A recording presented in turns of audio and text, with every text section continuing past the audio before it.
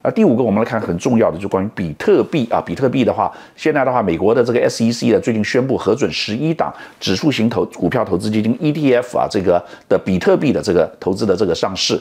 那么这个呢，但台湾的话呢，投信业者要要要做这个比特币，可比较不行啊。台湾的这个这个只有美国的证监会，证监会是呃许可的。那我们看到像包括贝莱德、景顺、富达、方舟这些都有来推推出。主要的原因是因为最近比特币啊价格涨了很高，涨了这个七十趴。